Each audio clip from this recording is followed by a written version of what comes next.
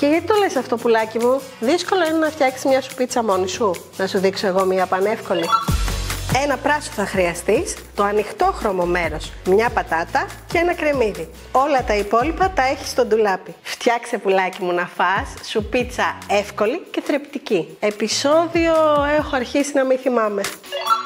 Κόψε το πράσο κατά μήκος. Το έχεις πλύνει πρώτα και μετά σε 4 με 5 κομμάτια. Κόψε το κρεμμύδι στα 4 και την πατάτα σε κύβους. Βάλε 3 κουταλιές στη σούπας σε ελαιόλαδο και ένα μικρό κομματάκι βούτυρο στην κατσαρόλα να ζεσταθούν. Σοτάρισέ τα όλα εκεί 2 λεπτά να γυαλίσουν. Ρίξε ένα ποτηράκι λευκό κρασί για να το σβήσεις. Το κρασί στο ψυγείο το έχουμε για τα μαγειρέματα. Τα έχουμε πει αυτά, έτσι. Πρόσθεσε αλάτι, πιπέρι και ένα κουταλάκι του γλυκού κάρι. Έχεις κάρι πίσω πίσω στο ντουλάπι. Ρίξε ένα λίτρο ζεστό νερό στην κατσαρόλα, σκέπασε και άστα όλα να βράσουν για 20 λεπτά.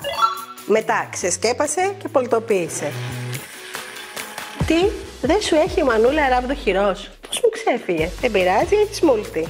Βάλτα όλα προσεκτικά εκεί και πολτοποίησε. Μη σερβίρεις ακόμα. Κάνε τη σούπα πιο χορταστική γαρνίροντάς την με κρουτόν. Πώς; Με δυο φέτες ψωμί του τόστ. Δυο φετούλες ψωμί του τόστ κομμένες σε μικρά κυβάκια, σε ένα αντικολλητικό. Με λίγο ελαιόλαδο, σκόνης σκόρδου, ρίγανη και τριμμένο τυράκι. Για δύο λεπτά εκεί και είναι έτοιμα.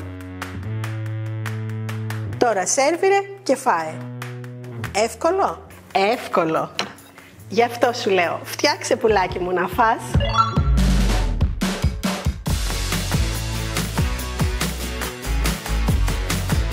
Και πούσε, έχεις και εξεταστική και είναι και χειμώνας. Να ντύνεσαι ζεστά και να φτιάχνεις σου πίτσες. Κάνουν καλό.